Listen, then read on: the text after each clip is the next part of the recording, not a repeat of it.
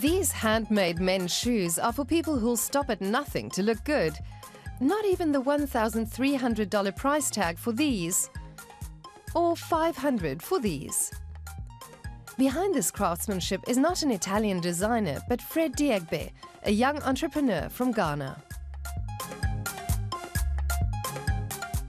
When I started this company, there are not many, many companies in Ghana or in Africa trying to challenge the status quo of coming out with a luxury brand from Africa. Um, so I believe that we are different because we are doing luxury in a, in a continent that has almost been written off in terms of quality.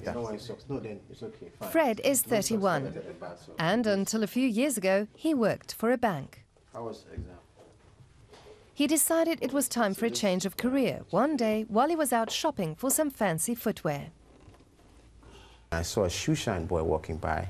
So I, I run outside and I asked him, hey, can you make these shoes here in Ghana? And he said, no, um, it's impossible.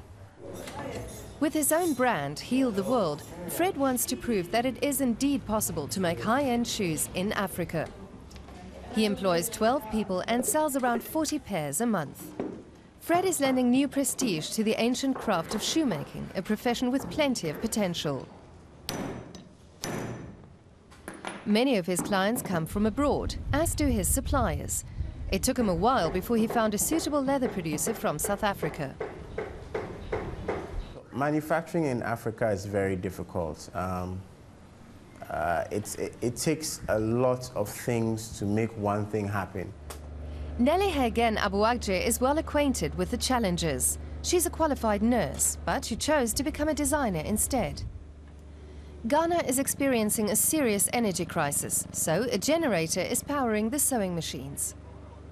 Despite the obstacles, Nelly's efforts have been crowned with success. Her clothes have already been showcased at fashion events around the world. Coming from here and having such quality, it means a lot for me. We've been referred to as the dark continent for as long as I can remember, and we want to make a change. Fred and Nelly met each other through their business ventures. They got married last year and now run their businesses together. Soon they want to consolidate production. I am now in charge of business development, more like the marketing and, and branding and selling of the products. And my wife is now the creative director and the production head of both of our lines. It's a necktie. Their first project is already in the works. Fashion for well-heeled gentlemen.